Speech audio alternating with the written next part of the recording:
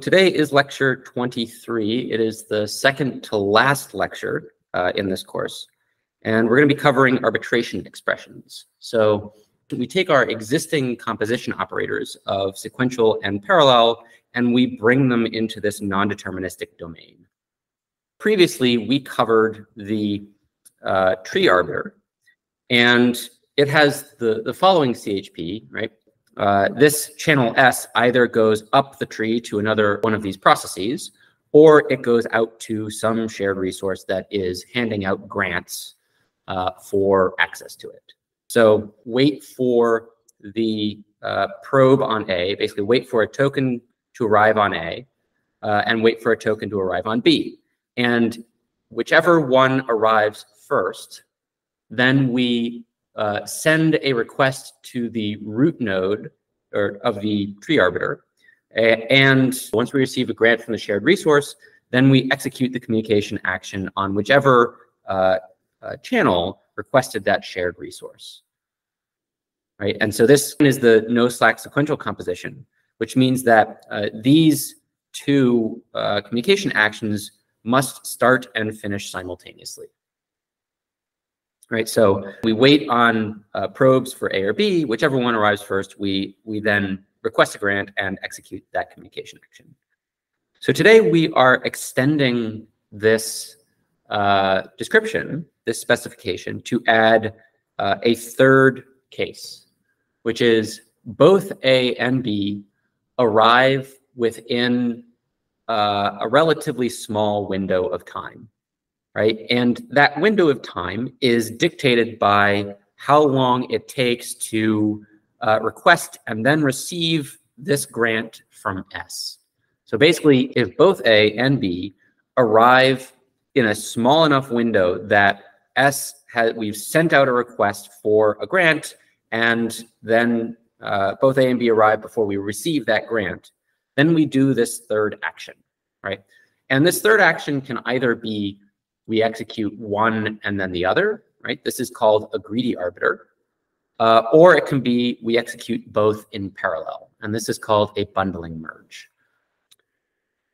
Okay, so how do we build this?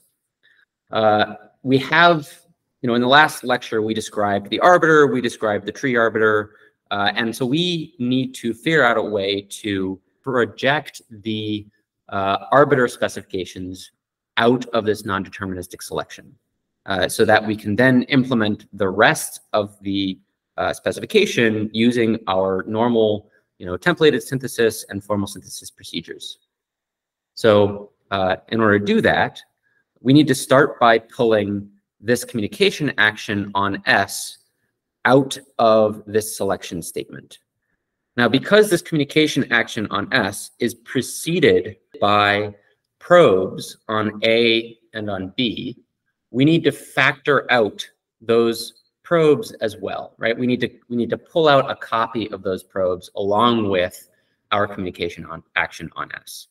And so when we do that, it looks like this, right? We have we wait for a probe on either A or B, then we execute the communication action on S uh, with a no slack sequential composition with the entire selection statement, right? Everything in the selection statement. Now, we want to break this three uh, condition selection statement into some set of two condition selection statements so that we can then factor out arbiters, right? Uh, and then implement them, which means that the easiest way to approach that is to add in a vacuous uh, condition, right? Now we know that because of this probe, that on A or B, that one of those two probes are going to be high. So as soon as we get to the selection statement, it's not going to wait. It's just going to go straight into whichever, whichever condition it's currently in. So if we add this extra condition on the lack of any probe on A or B, right, on no tokens being ready, and we allow it to skip, then we haven't changed the specification in any, in any way because this, uh, this condition won't ever be executed as guaranteed by this, uh, this guard. But what that allows us to do is now we can take this entire selection statement, and you'll notice that it it very much looks like uh, two separate selection statements broken broken up, right? So we, if there isn't a probe on A, then we skip. If there is, we receive on A. If there isn't a probe on B, then we skip. If there is, we receive on B. And because this final composition is in parallel, we do these two, these two actions, these two selection statements in parallel. We're effectively factoring out that four condition selection statement. Um, so our next step is to then take these two selection statements and uh, run process decomposition to pull them out into separate processes, right? Uh, so we're going to introduce a channel, SA and SB, one for each of these to do process decomposition. And those channel actions are going to be executed in parallel here, re replacing uh, our two selection statements.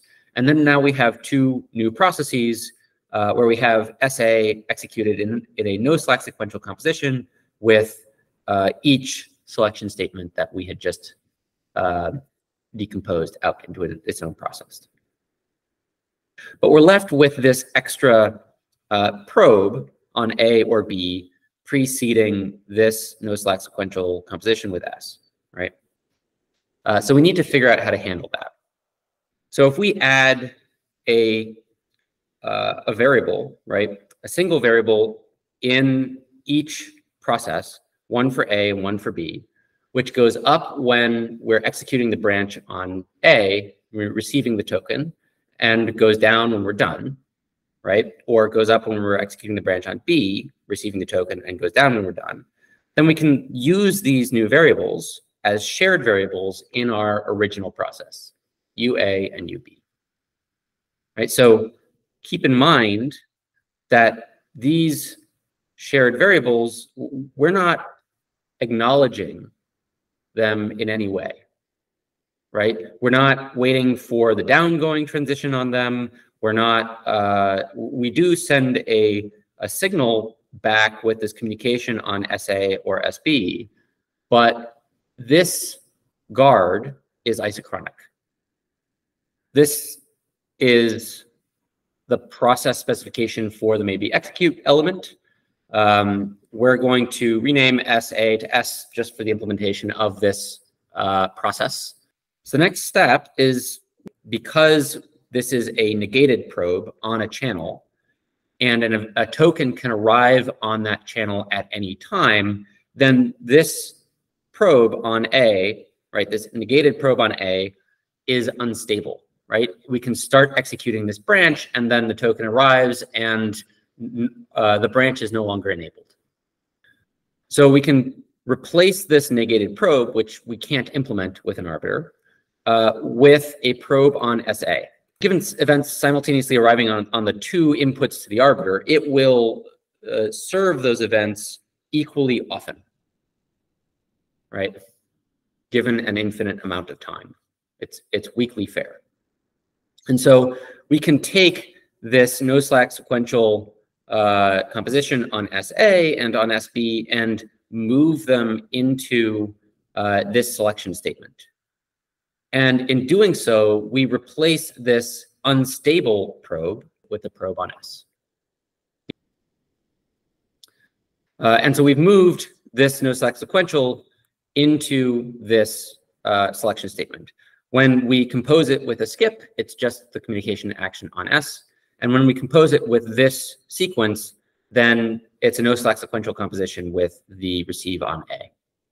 Now this we can implement with an arbiter, right? So we can expand this out into an HSE and it looks somewhat like this, right? So for this branch where we have a probe on S, then uh, execute a uh, channel action on S. We wait for S.E. We raise S.R. We wait for not S.E. We lower S.R. Now, that is uh, in a non-deterministic selection with A.R, right? So if S.E arrives first, we execute that. uh, basically executing the skip condition. And if a dot r arrives first, then we raise our uh, shared variable, telling the uh, base process to, to, to start the execution action on S, and therefore start the execution action on SA, right? Uh, and then we wait for S.E, right? We wait for the grant. So uh, once we get S.E, we pass that grant on to A by lowering A.E. Uh, and then we wait for A to be done with its access to the shared resource when it lowers A.R. Uh, once it's done, we lower UA, right? Talking back to uh, our original um, base process. And then we execute the uh, remainder of the communication actions for both A and E in parallel, just to finish everything up. Okay, so we can break this up into pieces, right? This, uh, th these two sequences in red can be pretty straightforwardly implemented by this um, ideal arbiter, right? So uh, the ideal arbiter will wait for s.e to go high. It'll raise s.r. It'll wait for not s.e. It'll lower s.r. Same thing here. It'll wait for a.r to go high. It'll raise u dot. It'll raise ua. Then it'll wait for not a.r and it'll lower ua. But the other thing that it does is if a.r arrives first, it raises ua, and then s.e arrives, and once we've gone through this process of waiting for S.E and lowering AE, once A.R goes low, right, after, after it's gotten access to the shared resource, it'll lower UA and then jump over into this other branch. Right? It'll it'll immediately start executing on this side of the arbiter. And so it'll by default execute S.R up, not S.E, and S.R down right? So that, all that's left now uh, is our uh, is basically passing that grant on to A. And we can do this with a NAND gate, right? So uh, if we are, uh, if we have a grant on S.E, and we have locked into this branch where uh, the request on A.R won the non-deterministic selection, then uh, we lower AE. So if S.E and UA lower AE, and that's an AND gate. And so that's our maybe execute element, right? It's it's a pretty small circuit overall.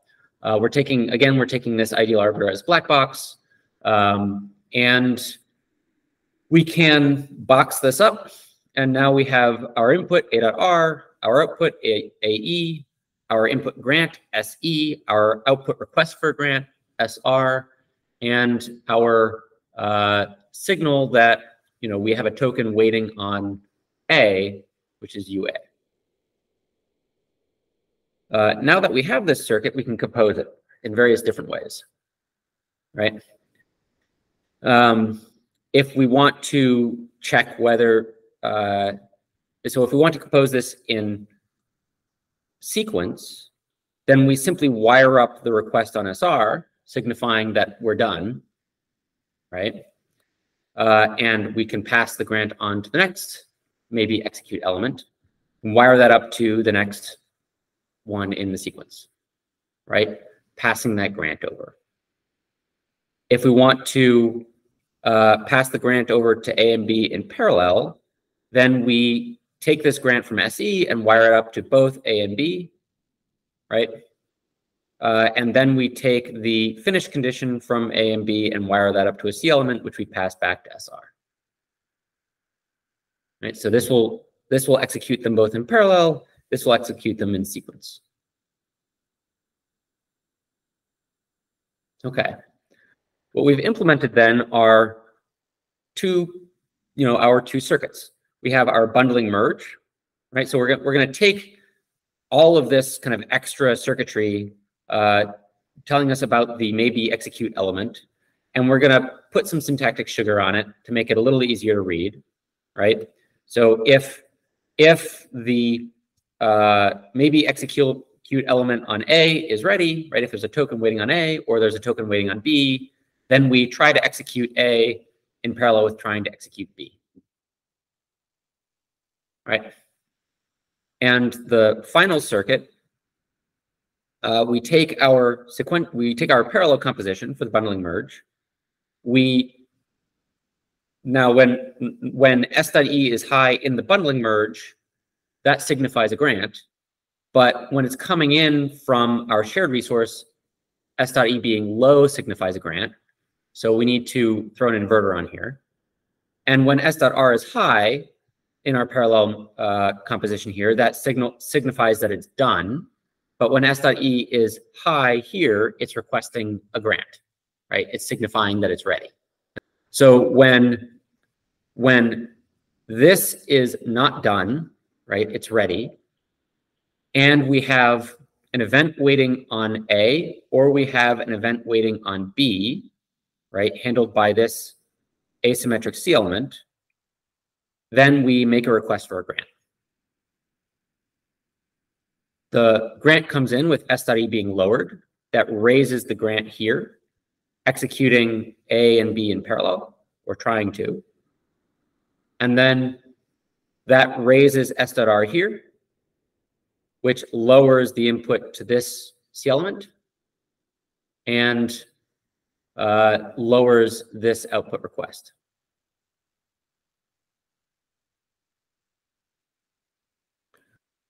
Uh, and the greedy arbiter looks identical, except that the composition here is sequence rather than parallel. Now, there are a whole bunch of peephole optimizations that you can run on this to simplify the circuit, right? Effectively taking this C element and merging it into the this inverter and this C element. Uh, and, you know, those speed things up a bit, but as far as the base implementation goes, uh, this is pretty easy to remember. Say you have a shared resource and you want to mitigate access to the shared resource. That could be some communication bus, it could be a memory, uh, and you have some kind of read-write interface to that, right? Uh, and you want to uh, share that read-write interface across to multiple uh, communicating processes, right? Then you might want to put, say, a greedy arbiter there, or a tree of greedy arbiters there, right, to do that. Uh, if there are multiple uh, possible interfaces to that memory, then you'll want to use a more complex expression in, in that arbiter, right? If we go back to here, this composition can be any number of communication actions on any number of channels, right? And it can be uh, sequence, parallel, you can, uh, whatever composition you can write here, you can build. And so basically, as this these interfaces to this shared memory or shared uh, resource become more complicated, you'll just get more complicated expressions in that um, in that composition. So maybe we want to bundle simultaneous read requests, uh, or maybe we have um, a program counter, we have an instruction fetch unit, uh, and maybe we want to add interrupts. How do we know that uh, there's an interrupt on this channel? We have to try to execute or receive on that channel. We would uh, we would get get through this loop, uh, execute, you know, try to execute either the program counter or the program interrupt, whichever one comes first. We execute that one, uh, and then we go on to execute the the the other one, right? The program counter, the program interrupt. And if you get multiple interrupts, then maybe you want to compose all of those in sequence, right? Or if they don't affect each other, maybe you want to bundle multiple interrupts together. Right? Uh, say you have a, uh, a pipeline and you want to know whether or not this pipeline is empty. Right? Uh, can I maybe power gate the whole pipeline? Can I turn off the pipeline to, to save energy because it's not being used? Uh, then maybe we have a power controller, right? And we have some kind of control on the input and output of this um, of this pipeline. And on the input, we send an increment command to the counter. On the out on the output of the pipeline, we send a decrement command to the counter. And when the counter signals empty, then we turn off power, right? But these increment and decrement commands can arrive at any time. And maybe we want to bundle them together and not send a command to the counter if they arrive at the same time, right? And so we can do that now with a, a bundling merge. There are a wide variety of places in which you can use these uh, compositions. Uh, and we'll present another one on Wednesday with stoppable clocks. Uh, and it's exactly this same kind of problem. Uh, we have three examples. So if we took, take a look at example one, uh, we are implementing the maybe execute element. Uh, the uh, process definition for the maybe execute element can be found in sync.act. We have a pre-implemented uh, arbiter, ideal arbiter here, which maintains uh, exclusive high. Now it's it's got a templated interface, right, with a reset input and a size input. Um, if we go back, if we go down to the maybe execute process definition in sync.act, uh, you'll find instructions here right? So our goal is to implement the maybe execute element using an ideal arbiter. Uh, we have possible values for reset, right? Reset underscore x will not reset the outputs of the arbiter. Reset underscore zero will reset the two outputs low, and reset underscore one will reset the two outputs high. Uh, and for the SZ input, just use six. All right, so let's take a look at e1.act uh, and open up sync.act. And let's implement our uh, maybe execute element. Uh, and so the first thing that we need to do is pull in our ideal arbiter. Uh, I'm going to reset both the output lines low. And I'm going to size it 6. I'm going to call it arb. Uh, and then it's going to have G and then some set of inputs. Uh, the first input, if we look at our implementation, is s.e, and the second is a.r. So let's do that. s.e, a.r. The first output is s.r, and the second output is ua. Let's do that. s.r, ua. That's our, our ideal arbiter. The next step is the NAND gate to pass the um, grant back to A. So g.gnd.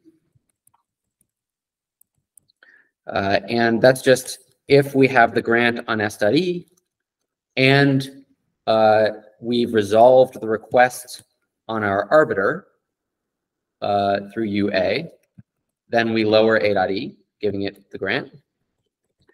If we don't have a grant on s.e, or we're not in the branch where uh, the request on A won the non-deterministic selection, then we make sure that the uh, the input channel A does not have a grant, so A dot E goes high. Okay, that's our maybe execute element. And let's run it and see what happens. So I'm going to say make E1 sync. Let's take a look at sync.act. Ah, it's exclusive high ideal. I misnamed it.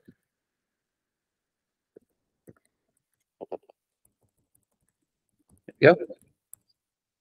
Make E1. R does not exist. Five.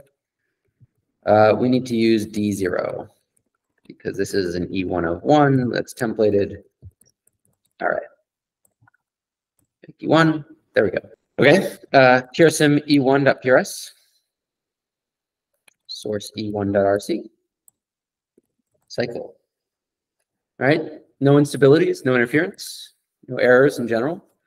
Uh, let us uh, open up the analog simulation, PRSim env.prs, source prsim.rc.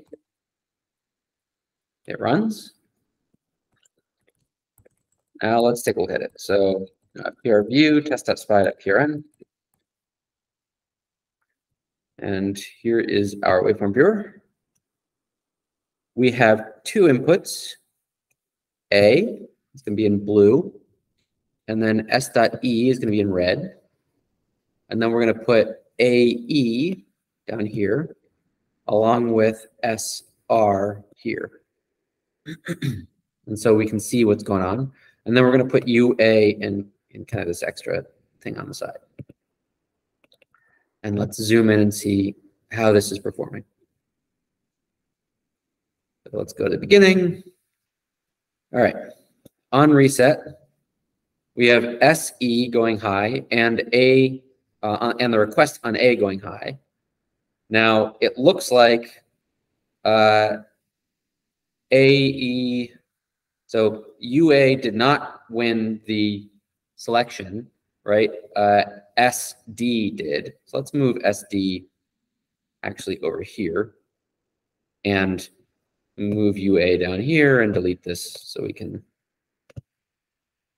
see kind of better which one, which selection statement. All right. So S R, the request on S wins the selection statement, right? And so we execute the communication action on S. The communication action on A, which is in blue, doesn't get executed. And so we effectively handle our skip case here right?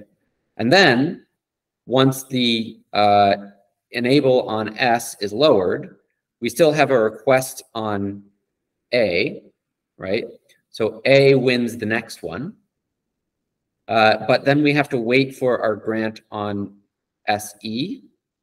And so once we receive our grant on SE, A.E goes low. Then we wait for the request on A to go low, right? Right here before that lowers UA. And then doing so raises the enable on A and then allows SE to execute its communication action, right? Returning the grant. Right, so uh, SR goes goes high, SE goes low, SR goes low, and the, and the grant is returned. So you can see effectively we can try executing and sometimes we miss, sometimes we hit. Uh, and yeah, this is uh, the execute, maybe execute element. Uh, so the next step is example two. And in example two, we're going to use this maybe execute element to implement the bundling merge. Uh, let's work through this. So uh, we're implementing our bundling merge.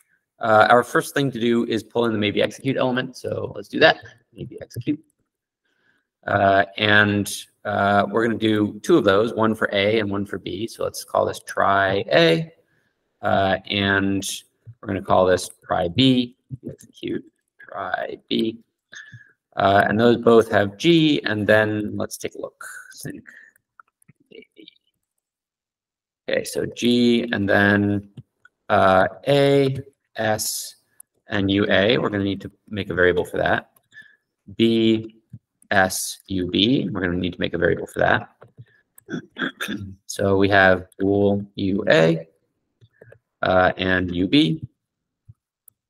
Uh, and uh, this is actually going to be SA and SB, right? Because we have two. We go back and look at our uh, slide deck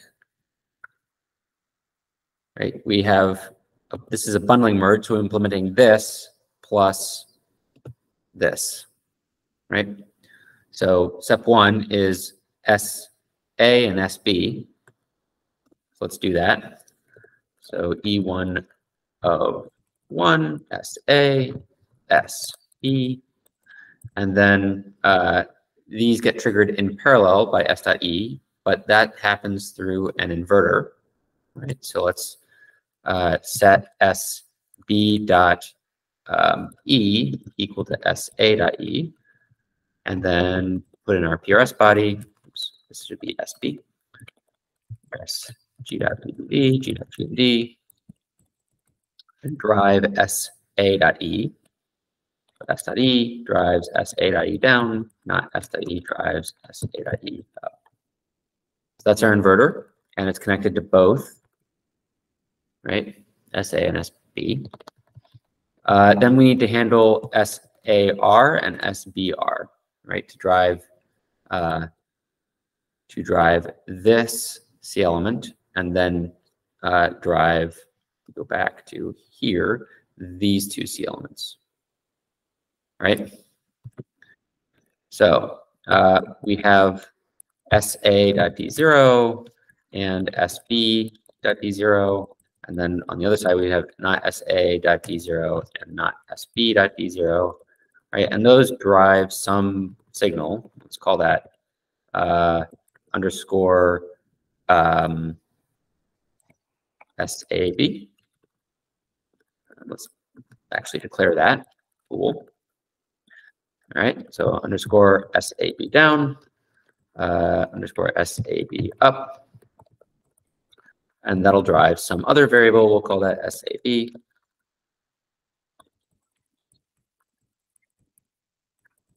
It's just an inverter for RC element.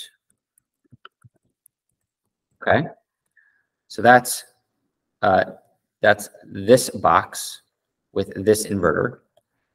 So now we need to invert this before it goes in. Uh, and so that'll be bool underscore uh, so we're going to need two. We're going to need a node here. We're going to need a node here. And we're going to need a node here. So let's call this, uh, I don't know, uh, SR underscore SR, and then we have S dot D0. So SAB drives SR down, not SAB drives SR up. Uh, and then SR, so that's, we just went through our inverter here. Now we're driving, now we're building this C element. So it'd be SR and UA or UB drives underscore SR down. SR, uh, not SR drives underscore SR up, and that drives S dot D zero. So uh, underscore SR, S dot D zero down, underscore SR, S dot D0 up. Okay, so that's our bundling merge. There's some optimizations that we can do here. Uh, so we have two inverters here. We have a C element followed by a C element, right? And then we have this inverter here. Uh, let's get rid of, let's see if we can get rid of some things, right? Uh, so we can move these inverters, right? This one through, go back, through here, right? So this inverter can be moved through this C element and onto these two wires here, right? So let's do that.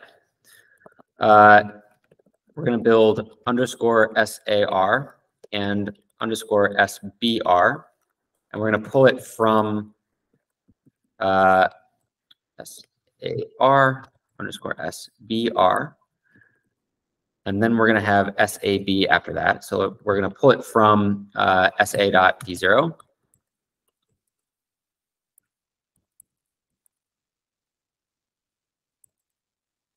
So S eh, A S B dot D zero.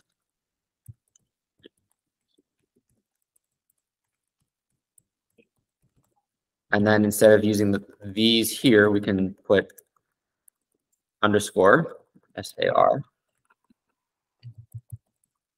And this relationship flips.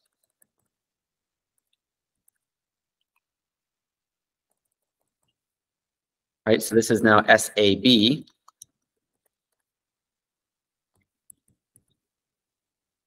Right, so we've just pushed the SAB inverter through that C element, uh, into SA and SB, respectively. Uh, now we have uh, this inverter followed by a C element followed by an inverter, right?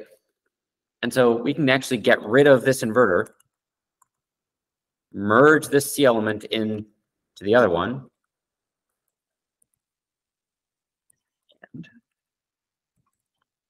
get rid of this C element, and now we have SAB and not SAB. So that's just a bit of peephole optimization. Uh, and it cleans up the code a little bit, right? So let us try to execute this. Uh, I think everything, let me see if everything's defined. We don't need SR or underscore SR anymore. We have SAB. All right, SA.E, that's all written.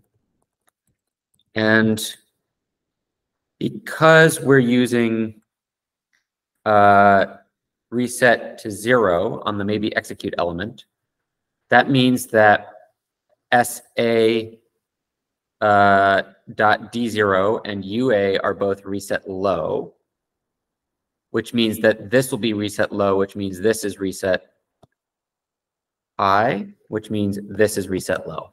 So we're good on reset. Okay. Right click and make E2. Uh, and let's run this through PRSIM. So PRSIM E2.prs, source E2.rc. Let's see if that works. Yep. No instability, no interference, we're good to go. So let's take a look at the analog simulation.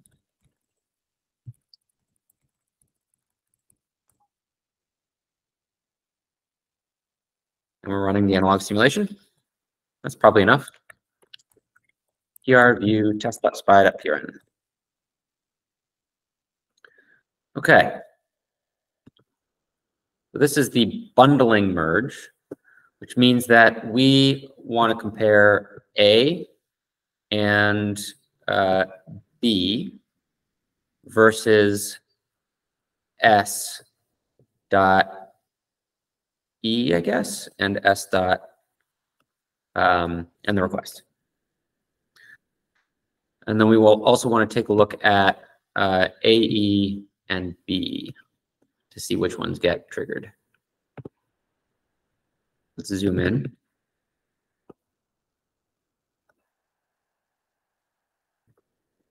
Okay, so we start and we get requests on both uh, A and B. That triggers a request for a grant. The grant is provided after the request for both A and B go high. And so the enables of both A and B go low simultaneously. Uh, as they we wait for them both to complete before lowering the grant request on S, uh, and then um, we continue on, right? We, we get effectively uh, new requests on A and B. In this case, uh, our request on A arrives long before our request on B. And so we send out a request for a grant uh, as soon as we are allowed to. However, the grant doesn't arrive until the request for B has arrived. And so we still execute both A and B simultaneously. Right? And so let's kind of scoot forward. Here we go. So now we get a request on B, right? Long before our request on A. Uh, our request on B triggers a request out for the grant. We get our grant before we receive the request on A, and so only the enable on B goes low, and the enable on A stays high. Right, so we only execute the one. Uh, and then the request on A must wait all the way through until uh, the grant is returned, and then we get a new, uh, we are allowed to request a new grant uh, because S.E went high. And so as soon as S.E goes high again, the, the request for the grant goes high, and then both the requests for A, or both the enables for A and B go low. Right. So this is kind of non-deterministically bundling uh, requests for grants together and then servicing them out.